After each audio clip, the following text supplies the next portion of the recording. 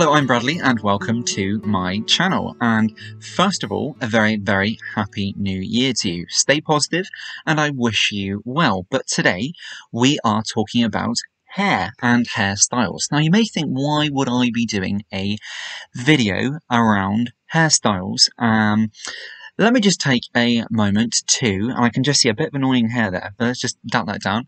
Um, I would like to just first of all take a moment where I never thought my channel would get to the point of having 20, 30, 50 subscribers. Now I've got 200, and absolutely the amount of comments I get, I feel just well, sometimes I literally, it's almost like I have to pinch myself to think that, well, I've never been a very confident person at all, to be quite honest with you. And to get the comments I do and to get the really lovely comments which I receive from all sorts of different people, which is just incredible. And actually from all around the world. Um, that's just mesmerizing. It really is that somebody's actually watching my channel. So the whole reason why I'm doing this clip is because I've received so many comments about my hairstyle, my choice of products which I use, the styles I wear, um, I've I've had different uh, amazing amazing comments of people who are not are not feeling great. They're not feeling confident because they may have hair related problems such as hair loss, hair thinning, you name it. Um, and I and I've received those comments, and I absolutely ultimately try my best to put my heart and soul into every sort of comment where there's a question put to me, or you can really feel that somebody's going through something. Um, that for me is just absolutely amazing. My whole my whole sort of ethos for my channel is to be open and honest, and it's a tool for me uh, it's a tool for me to, to deal with life, to be quite honest with you. Um, and that's why on my front page of my channel it says, um, my channel, another tool um, to help me with the bumpy, uh, help me along the bumpy road of life, which it just is that. Good, bad, everything which comes along. So I wanted to uh, just sort of fill the, the comments and my subscribers who have mentioned to me, have uh, left comments for me about my choice of hairstyle um, in regards to colour, in regards to thickness, my Viviscal journey with my hair getting thicker, um, my choice of products, and I've had a lot of comments around what I, I, do with my hairstyle. And I thought to myself, well, we're now in 2021. I have got some plans. I mentioned that on my Happy New Year uh, video, but um, I really wanted to just take a time and really go into that a little bit. So, for example, yep, it is 2021, and New Year's are all about change what's going to change. So my New Year's uh, video, my Happy New Year video, I mentioned about change, what I want to do in my life, in my career, that type of thing. Let's talk about hair. So for me, hair is a very, very important thing. Um, it's not because I'm vain, it's not because I'm confident. I always think in confidence, fake it until you're there, and then you can surprise yourself and you can surprise others. Um, but help everybody along the way and then you can't go wrong. But in terms of hair, for me, why it's so important is because it sets your impression. It gives the impression when you meet somebody their choice of style, their choice of how they're wearing their hair, and the color, the style, all sorts of things. It tells you about their character. It tells you about all sorts of things about that person. And that's why I like it because it sets this sort of the expectation of something almost immediately. Now, we should never judge. That's not to say that I'm telling people that you should go out there and you should judge people on their hairstyle. That's not what we're talking about here at all. It's just that you can kind of tell what type of interest somebody has through how they wear their hair, through what they do with their hair, um, and I just find that's incredible. So that's something which I really, really like. Now, I was gifted with natural, sort of fine, thin hair. I have lots of it though. So I love trying out all different styles. I love trying out all different products which which help the scalp environment, which help sort of give you the thickest possible hair, which gives you the best possible hair. Now this year I made a huge, huge change. I say this year, last year rather, I made a huge change to my hair. So I started taking Viviscal and I took that for nine months. I don't take it anymore just so I can give my, my body a break. I feel I don't need to take that anymore, but it would certainly be something I would recommend if you're noticing problems with your hair in terms of quality, in terms of the growth rate of your hair, in terms of thickness. Or if you've got an area of your hair where you know used to be thicker, or you've got an area of your hair which is just a bit unruly and it's getting a bit thinner, it's getting a bit dry, you're not feeling particularly yourself, perhaps you're a little bit down with lockdown and everything at the moment with the COVID situation, or perhaps you just want to give your body that ultimate boost of the nutrition which we need to have healthy hair. Viviscal is going to be absolutely amazing for that always speak to a medical professional first of all. And I'll be very honest, I can't categorically, absolutely tell you 100% that it will work, but here's hoping it will work for you like it did for me. So give that one a try or at least have a look at it as well. This year, what I want to do is I want to try a couple of things different in regards to my hair as well. So a lot of people have commented on my channel in regards to my hair color. So this is not natural, obviously. Um, I have had highlights and I've had highlights three times, I believe but I've left it. Um, I've left it quite a way in between each one. Um, I have not damaged my hair at all. Viviscal has, which is the hair growth supplement we were just talking about, has allowed my hair to get stronger and much more healthier. And I truly believe without Viviscal and without taking the right care to look after your hair, I would not have highlighted my hair because I would have just never thought thought that my hair was healthy enough to do that. So the highlights are great. But as I say, my channel was all about honesty. And with the utmost of integrity, I am going to be truthfully and honest with you that I'm actually falling out of love with the blonde, now to be quite honest with you. Um, and it will be something which I will not be having done again. So I had this done just before Christmas, and I wanted to have that for the Christmas festive season, sort of the, the holiday period of having really nice white sort of, I say white, silvery sort of blonde toned highlights, which I had.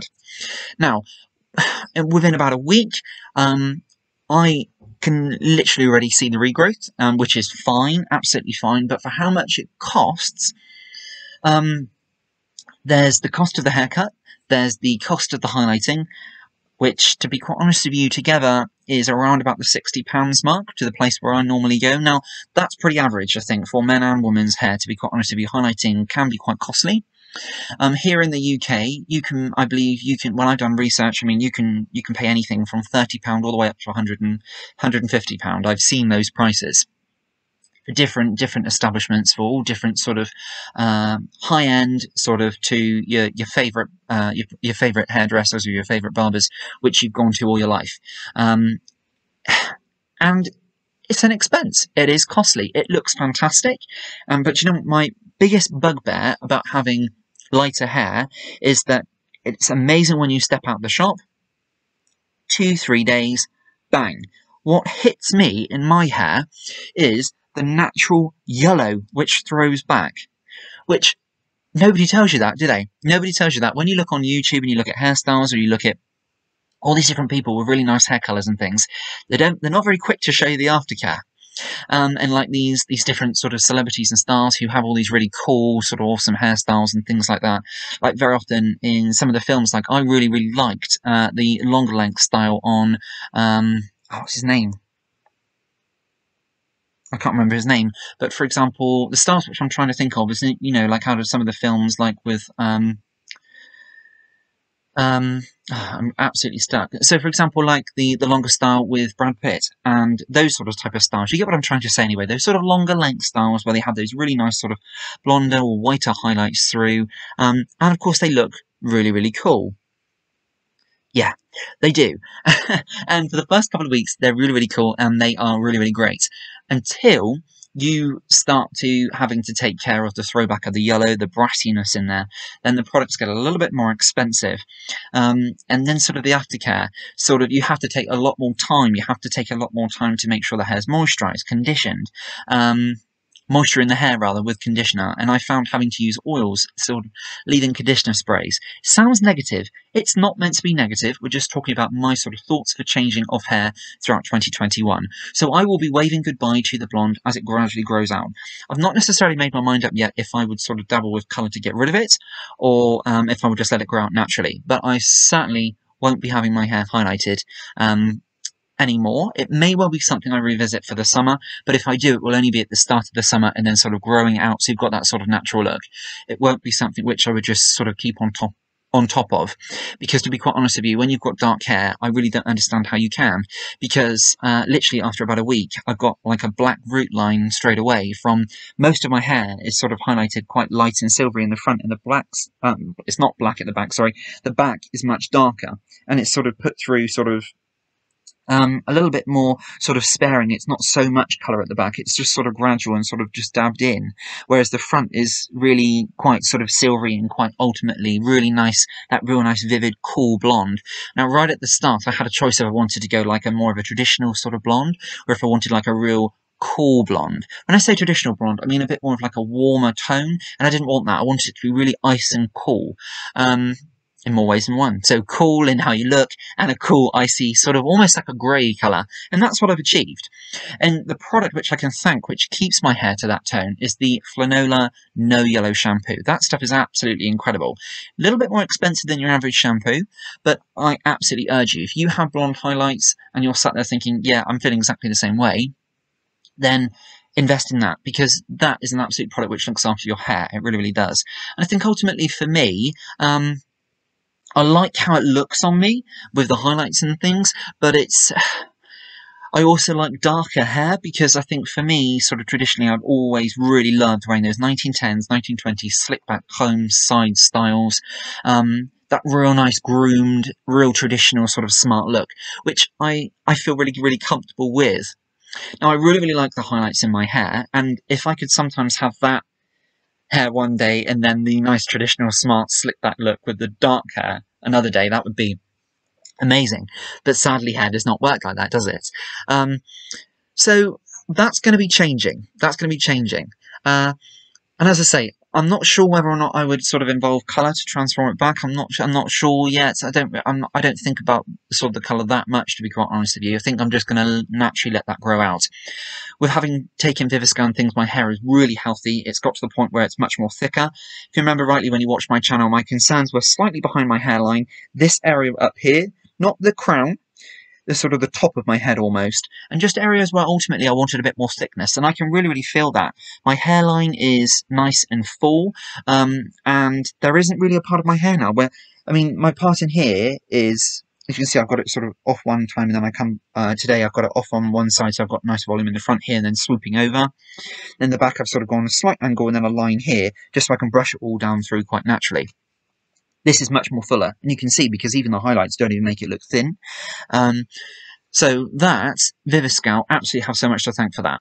Absolutely brilliant. Um, but going into 2021, that's not the only style which I would like to try. So I want to grow the lighter hair out. What I'm doing right now is I'm growing the sides out. So for a very long time, for many, many years since I was a teenager, I always had an undercut, and I love an undercut. So nice length hair on top, super, super short at the sides. This is usually a zero, and I can grab hold of this hair now, and this is getting longer. It's getting longer. And I'm just sort of trying to explore with growing the hair out a little bit. So I wear hearing aids. Um, I haven't got hearing aids in right now because unfortunately I've got a bit of a problem with my ears, so I'm not able to put my hearing aid in right now. Um, but it's getting better. Um, but I'm I'm sort of playing with the idea of growing this out a little bit having it a little bit sort of choppy, a little bit sort of not super super long, but just so I've got a bit of length here, and then at the back growing it sort of down, tapered into my sort of neck, just so it sort of kicks out ever so slightly. So I've got that nice sort of swooping length, a little bit like what I've got here, but just about maybe an inch, maybe two inches longer. I'm saying that right now. Some days where I get a little bit stressed out or if I'm busy with work, having longer hair, of course, takes a lot more time to style, a lot more time to look after, particularly when it's lighter. So right now, that's what I want to do. But then come the summer, what I was thinking is having my whole hair sort of cut short. And growing up, I always had like a real short, uh, a real short sort of like tapered cut and then sort of a slight part in, flicked off to one side, and then sort of short and spiky all the way through my hair. That might well be something I would look at in the summer. Um, for a bit of a change, ultimately, um, because I really, really like that style, and I haven't had that style for quite some time. I think it's been a couple of years since I've had that style, and I really, really like that. Um, and just for that ultimate freshness, that youthful sort of feeling as well. Just because I'm still going through some health problems, and I know now with lockdown and things, it's probably going to be about the summertime where it's all going to happen. Um, so quite a, a, long sort of recovery period and things. So I might not necessarily be able to sort of spend so much time doing that. And to be quite honest with you, I might not want to after going through um, things with I've got some problems with my leg and things through having past failed hernia surgeries. So that's another thing coming up in regards to my hair. Will we be looking at products this year? Absolutely, yes, of course. I enjoy that. That's one of my huge favourite things to do on my channel is to look at all different products for hair, for styling hair, for condition of hair, um, hair growth treatments, that type of thing. Um, and I've got some things planned absolutely for that. So And once again, what makes me want to continue doing that is because of all the amazing comments I get. I have 200 subscribers now. Never in a million years did I think I'd get two, let alone two subscribers. So that's brilliant. So that's something else I really want to do. Will I be going back to the uppercut look? Sometimes I get a moment where I think to myself, why am I doing this? I just want to go back to the uppercut look. What am I saying? Uppercut, undercut. Sorry. So longer on the top and then longer on the top and then short, super short, short at the sides. Because don't forget, this hair isn't from the sides. This hair is from the top. All of this used to be an undercut. This used to be super, super short. So as you can see, look, I'm even from my Viviscal, I'm even getting shorter hairs grow in all through my hairline, which is great because you might not be able to tell. Again, this is just going to have to be something which I, I can't necessarily 100% categorically prove this, but it's just, it's a thing of trust, isn't it? I think. And you can kind of see that, I mean, this was my temple here. It's, it's not super thick. My hair's not super thick anyway. But, as you can see, this, smudge those hairs there, but this, that bit there, what I'm trying to grab, this, since I've been taking the Viviscal, this is it. So that's that's kind of sort of the proof which I have on it. So yeah, all good. So I would say if anything happened this year, um, sort of health wise, if I get stressed or things, my hair does start to change, then I would certainly pick up Viviscal again. Um, maybe going shorter in the summer. Absolutely. Would be leaving colour well alone. Would I colour my hair again? I love super dark hair. Love super dark hair. I've got dark hair anyway, but I think the shine and the sleekness you get from coloured hair, I like. Um, but no plans. No plans at all at the moment. Um, but yeah, absolutely. So I hope you, in, in fact, actually, let's do something which I don't normally do. So I haven't got too much product in here, and I want to stay really truthful and really, really honest on my channel. So when I say, because I had a lot of comments um, last year about saying, why are you talking about thin hair when you haven't actually got thin hair? No, I haven't got thin hair. I've got fine hair, which can sometimes feel thin, but I have lots of it. And you know what? Just if I brush my hair through, you can see it's not super thick at all. But if I brush my hair, there is a lot of volume to it now because of how I've had it styled. But you can see sort of like the silveryness, the silvery sort of look. You can sort of see it's not super thick. Absolutely you can. But it's definitely got thicker from taking Viviscal. And if I just brush through the front here, you can see, you can see how ultra sort of, can you see how sort of ultra silvery it is? Another thing which I've had done recently, you can just see on the ends here, this has been cut into quite a lot. Now the person who cut my who cuts my hair rather is the person who has cut my hair for many many years. Um, and unfortunately, we're getting to the point now where rather than ask me, she will start cutting away before I've even had a conversation with her, which really, really annoys me. It's almost like that after a certain length, she likes them to cut it off. Um, so that might, I might even be changing who I actually have cut my hair. Let's all get through lockdown at the moment. Um, but that would certainly be on the cards as well because that's really annoying me. Um, but since taking Viviscal, my hair getting thicker, I can afford to have my hair cut into a little bit, whereas before I would always stay away from that because um, working in retail banking, I remember having shorter hair once, and I had shorter cropped hair, and the lady who cuts my hair cut into it and sort of cut the weight out. And if you don't know what that means, that's like if you can imagine sort of hair this length, but several hairs throughout the middle being cut sort of short at all different lengths, but yet the main length of the hair is still the same. So you're cutting some of the weight, you're cutting some of the thickness out. And I remember serving a customer, and I, I, I bent over onto a desk and was signing something for a customer.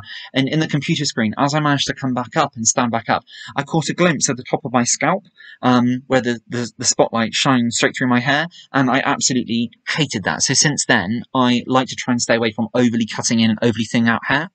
So I really, really hate that. So that's something which won't be happening this year at all. I want to, the ends I don't mind having a bit of texture cut into, but certainly not when they get the, the thinning shears and they're starting here and they're going one, two, three, four. Yeah, don't be ridiculous with that. Absolutely not at all. Cutting into finer hair sounds crazy, but actually it can, if done right, make the hair appear thicker because the shorter hairs make the longer hair stand up away, make it a little bit more fuller. But if it's done in moderation, if it's done in moderation, the last thing which I really want to mention is, as we are throughout lockdown, and there's going to be a couple of weeks now, or even a couple of months for us all, where we're in a situation where we're not going out all the time, one of the best things that we can do, and I love styling my hair, and I absolutely have it styled all the time, is when you are feeling that your hair is got to a stage where actually it could feel like it needs a bit of a break, let your hair just be hair. I don't mean walk around the house looking like you've absolutely got a straw nest on your head. I mean literally take a moment where you don't use heat so much, you don't use so many products at all, perhaps go to a bit more natural style and just literally switch down, down on how much and what you're doing to your hair. Because sometimes when I do that, I really, really notice the difference in my hair and the quality of my hair really, really improves. So, that's all what will be happening in 2021 for my hair. So we may be going shorter, changing colour. Mm, no, leaving colour well alone. Yes. Certainly highlights anyway. Um, and yeah, I think that's pretty much it. Will I go back to an undercut this year? Don't know. Will I cut it all off? Might do. um, but for now, we'll be growing it long and sort of playing and rocking a bit of a, an awesome longer cut. So for now, I won't be able to have it cut anyway because of lockdown here in the UK. Um, but I don't want it cut. Um, I'm going to grow it, grow it out sort of a little bit, have it nice, a nice sort of bit more of a, a longer length, couple more inches on this, and I will be happy. And I hope, hope you sort of agree that that sort of look looks really cool, really quite awesome. Okay, thanks very much for watching this clip. I wish you a fantastic year ahead, and let's stay strong. Let's hypothetically sort of really support each other throughout all of this, even if we can't be with one another. Keep talking and keep just being there for everybody. Huge, huge thing, isn't it? Just asking somebody, how are you? Okay, thanks very much for watching my clip, and until next time, we will see then. Bye now.